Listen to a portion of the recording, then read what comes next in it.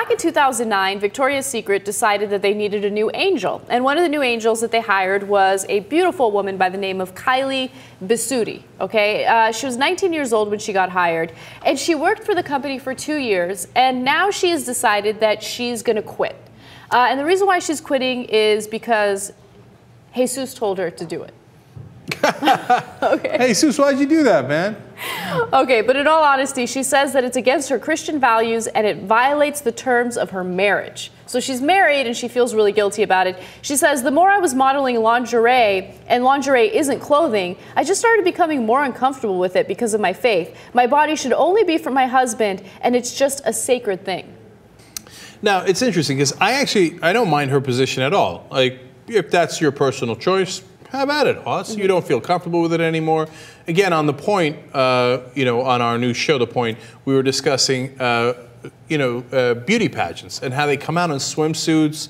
It's like a little awkward. It's so outdated and antiquated. I hate beauty pageants. Right. Yeah. And if you feel uncomfortable about that, you don't want to do that, God bless your heart, right? And you don't want to do it for a living as a lingerie model, of course, I get it. I think bringing Christianity into it, I mean, I, I know it's her way of expressing that feeling that she has. But it's unnecessary from my point of view. I mean, because Jesus doesn't talk about bikinis or lingerie. And, it, you know, there's a portion of the Bible that says that you should not have lustful thoughts towards another woman. Yeah, so.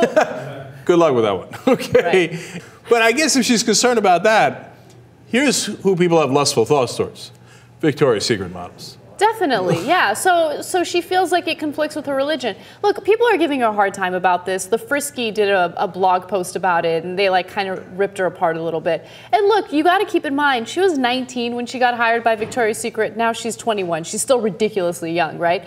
But you, this is the time of her life where she changes her values the most. Like she kind of develops her identity. Sure. So if she's becoming more conservative, fine, she's becoming more conservative. She has the right to quit and no longer work with Victoria's Secret. I don't judge her at all for that. And look, I definitely would never be a lingerie model, even if I had the most amazing figure in the world. I just don't want to be in that kind of spotlight. yeah, know? me too. what? Why are people laughing?